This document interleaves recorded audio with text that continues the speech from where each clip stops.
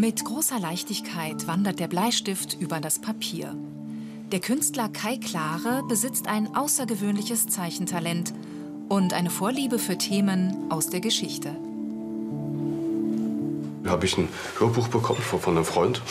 Das, da ging es um die Geschichte vom Odysseus, nicht? also diese komischen Irrfahrten von, ihm. Und dieses äh, Hörspiel fand ich so faszinierend. Ich weiß nicht, da fing ich irgendwann, während ich es mir angehört habe, mit dieser Komposition an. Also gerade hier bei diesem Beginn von der Zeichnung fand ich es wirklich schön, diese eine Frauengruppe zu haben. Dann jetzt hier diesen einen, einen Mann. Und der, der Clou ist eigentlich dann noch gerade von der freien Zeichnung, wie er dieses eigenartige Dach jetzt hier anfängt. Nicht?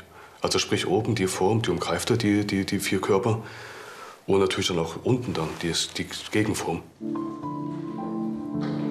Klare lebt und arbeitet in Nürnberg. Der 37-Jährige hat das Zeichentalent von seiner Mutter geerbt, einer gelernten Bauzeichnerin. In Sachsen-Anhalt geboren, aufgewachsen in der Oberpfalz, studierte er schließlich an der Nürnberger Kunstakademie. Neben klassischen Porträts denkt er sich manchmal auch ganz skurrile Situationen aus. Zeichnerische Grenzen kennt er nicht. Man hat irgendwann, wie soll ich sagen, so viele Dinge vor Augen. Man kann dann auch äh, vor dem Geiste auch den, den Körper drehen und wenden. Ich meine, Vorlagen nehme ich manchmal dann auch her oder wenn man auch manchmal irgendwas sieht, gerade auch bei vielen Filmen oder im Fernseher oder so und denkt sich nur, Wahnsinn, das heißt, das ist so schön aus, das Bild. Kai Klare ist ein künstlerisches Multitalent. Sein Atelier ist voll mit kleinen Figuren in ungewöhnlichen Positionen, von ihm in Bronze gegossen und bunt bemalt.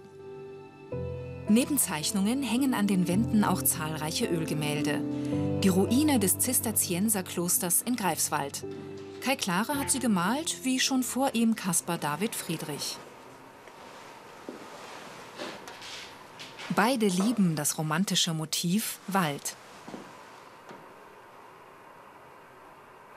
Für mich ist der Wald einfach nur ein Ort des Friedens eigentlich. Das ist ähm, ein wunderbarer Ort und mit Angst hat das für mich gar nichts zu, zum, zum tun. Das ist einfach nur ein, eine, eine wunderbare Sache, gerade von der Malerei her, da freie Kompositionen zu finden, Räume aufzumachen.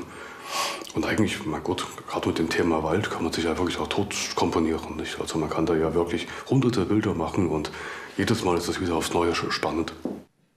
Der junge Künstler malt auf Aluminiumplatten, ein Untergrund, den er auch schon angeschmolzen hat, um seinen Feuerläufer besonders intensiv darzustellen.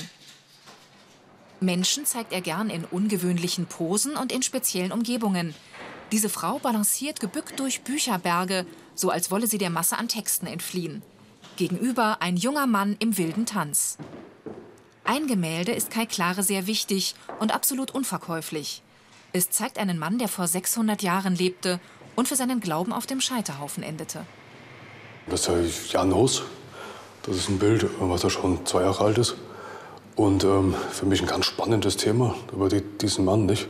Der schon vor Martin Luther da Ideen hatte mit einer neuen Kirche. Na klar, es lebt natürlich auch von dem einen Auge, nicht? Also wie er halt schaut, plus dann diese, diese, diese Blutfarbe und natürlich auch dieser seltsam lächelnde Mund. Ob mit Bleistift, Farbpinsel oder Tuschfeder.